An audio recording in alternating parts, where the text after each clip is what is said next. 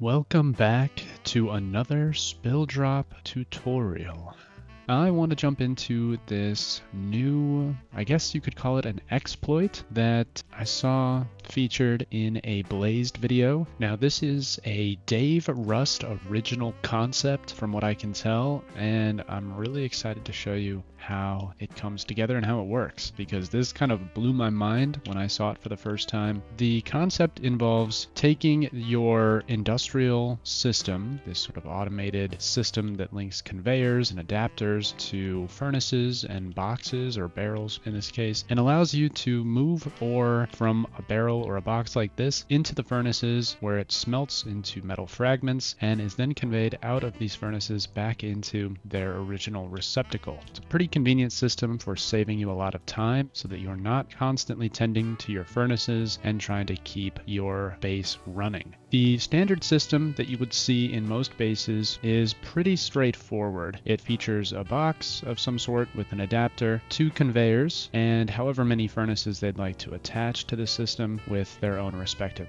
adapters. The way it works is you've got a small box with an adapter that has an input and an output node. The output node connects to a conveyor taking whatever material is in this box and pumping it into this conveyor. So this conveyor will look for metal ore from this box and then convey it out of this conveyor into this furnace up here. That furnace also has its own adapter, which will take ore in and pass ore through to these other furnaces here. Once it has smelted that ore into metal fragments, all three of these furnaces will pump that metal fragment stack into this conveyor here, which will then pump those metal fragments into this box. That's a very normal standard system. You do need a little bit of power to run these conveyors. So you can see I've got a battery there to do that. And of course, you need power to run the furnaces, which I've got coming off of this battery here for the lower level, and this battery here for the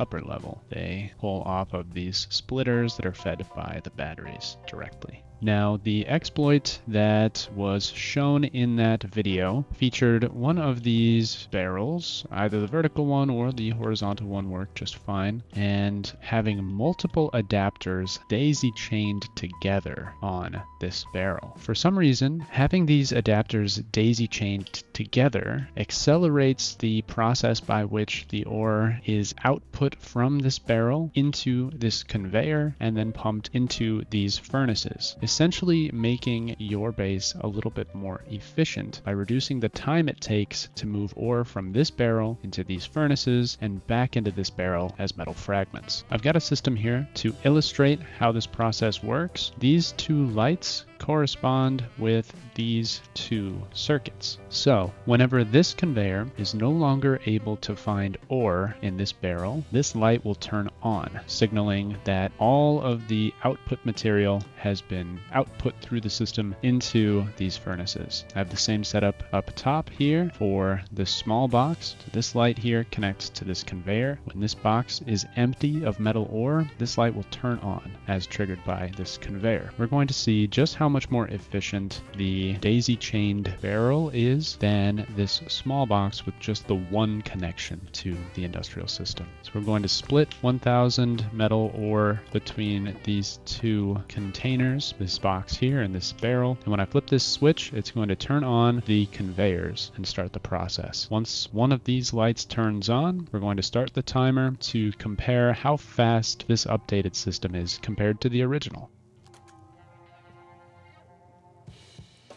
You can see that material is already starting to move through these conveyors.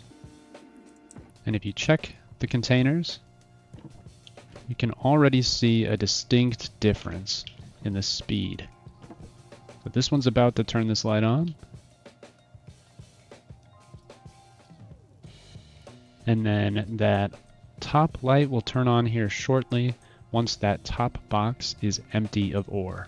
There we go. So that is the time difference between the two systems and how much more efficient this bottom system with the daisy chained adapters is compared to this upper system with just the one input source. Now, technically, uh, this barrel still just has one input source. The output from this barrel is coming from this top adapter down into the system. The input, which is the metal fragments from this system down here, comes up and into this bottom adapter. It's essentially two different connections to the circuit, which I think is why it's a little bit faster. I'm not entirely sure, but I do believe that is the reason. Having these other adapters daisy chained should help to accelerate the system as well by moving material through more adapters, but I'm not entirely sure how these impact the system as a whole. Let's see if we remove these, how that will change the speed.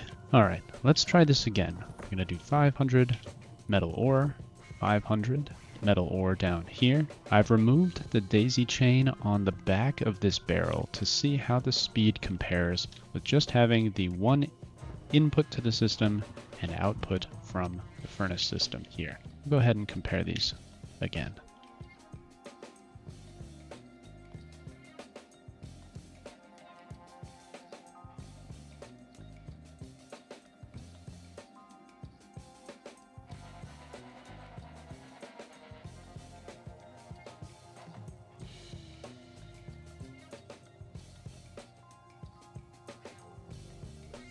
All right, so there is the very standard system versus the single barrel with only two adapters on the circuit. I wanted to do some further efficiency testing with these various configurations. We've seen that the daisy chain system seems to have some effects on efficiency, but I wanted to do a proper full test of a few different variants to see what gave us the best results. Daisy chaining these things together does not have to be as uh, neat as I'm doing it here, but I'm just showing you some examples for how you can kind of link these together and have them looking a little bit nicer while you benefit from the advantages of higher efficiency smelting.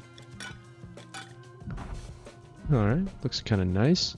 All of these are a little bit different. I'm going to run through these designs pretty quickly here so you get the idea of how they're all laid out. This first system uses just two adapters total, one barrel, and two conveyors. The second system here has three adapters total, two conveyors, one barrel, one furnace. This third system has three adapters, two conveyors, one furnace, and one barrel, but these two adapters are daisy chained together in the front, as you can see, which is a little different from this setup here. This next setup is a little bit more complicated, so we've got six adapters total. We've got two on the furnace and four on this barrel. We've got two conveyors, furnace, and the barrel, of course. The adapters here in the front are daisy chained together, as are the ones in the back here, and these furnace adapters are also daisy chained together. This next setup has just four adapters in total for conveyors, a furnace, a barrel, and then these and switches back here are just for the light indicators, which I'll get to here in just a minute. Each of the two adapters on this system are connected to their own respective conveyors back here, and those are in turn connected to their own separate adapter on the furnace. This system here has five adapters, two conveyors, a furnace, and a barrel. And these adapters are daisy chained together, as are these on the back. However, there is only one adapter on the furnace rather than the two for the previous design over here that is very similar. Now this design has six adapters in total, two on the furnace, four on this barrel. It has four conveyors, the two and switches, the furnace, and the barrel here. Now each of these adapters has its own set of conveyors back here. And unlike the previous design that was similar, this design is daisy chained in the back with two additional adapters. So this design over here did not include those adapters. And this system here is not attached to anything other than the conveyors and the lights. It is fully locked up and nothing's going to be happening here except we're going to get some lights out of it. Now I've got this system set up so that when I step on this pressure plate, it activates that switch, which will turn on all of the conveyors in the back. The conveyors themselves are hooked up to these lights here in front of the barrels. The light on the left here indicates whether or not there is ore in this box being transferred through the conveyor into the furnace. This second light indicates whether or not there are metal fragments in the furnace being moved into the barrel. When there's no more metal ore in this barrel, this light here will turn on, and when there are no more metal fragments in that furnace, this light will turn on. So you may notice that when I first start the system, many of the right hand lights will start on because the furnaces have not generated any fragments yet. That sort of explains that. Without any ore in these boxes, I'll show you what happens if we just turn the whole thing on. Fantastic. All the lights turn on, so that indicates that nothing is moving through the conveyors right now. We're going to do just 30 metal ore in each barrel to test this initially because the system with just one furnace cooks very slowly and the wait time is kind of annoying. We've got the metal ore in all of our barrels ready to be transferred into those furnaces and smelted into metal fragments. Let's go ahead and see just how well this system works.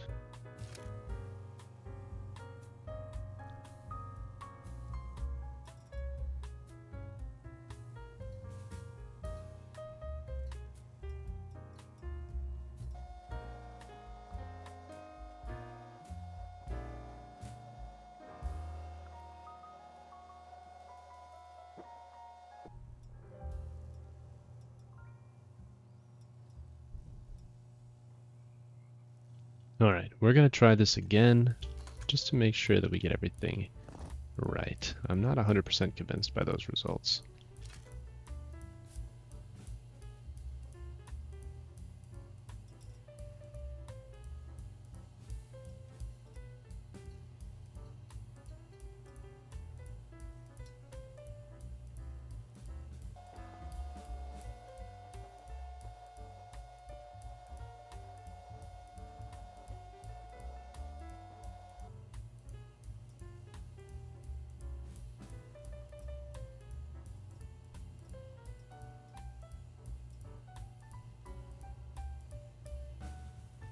All right, and there you have it. We're gonna go ahead and try it one more time, and I'm just going to make a slight adjustment here.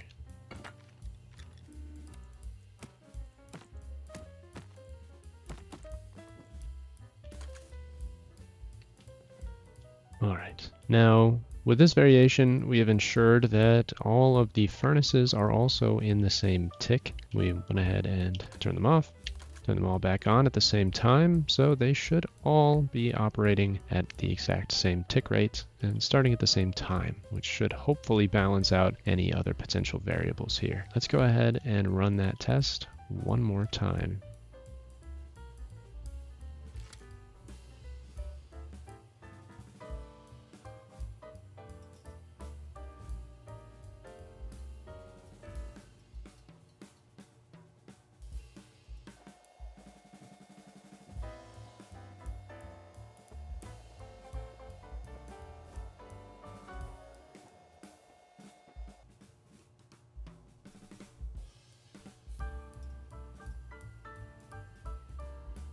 Okay, so in this test, this layout over here was the fastest for transferring metal ore. And this one over here was the fastest for smelting.